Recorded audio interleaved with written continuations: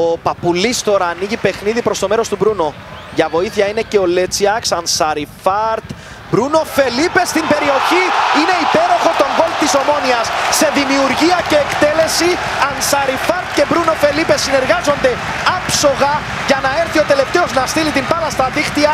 Σε χρόνους καθυστερήσεων στο πρώτο ημίχρονο η Ομόνια αυξάνει τον δίχτυ του σκορ σε δύο γκολ διαφορά από την Ένωση. Πραγματικά σε πολύ μικρό χώρο η συνεργασία των δύο. Το κατέβασμα και το τελείωμα ήταν ιδανικό από τον Προύνο Φελίπε. Η Ομόνια προηγείται με 2-0 της Ένωσης Νέων Παραλιμνίου και νομίζω ότι αυτό το γκολ δίνει ακόμα μεγαλύτερη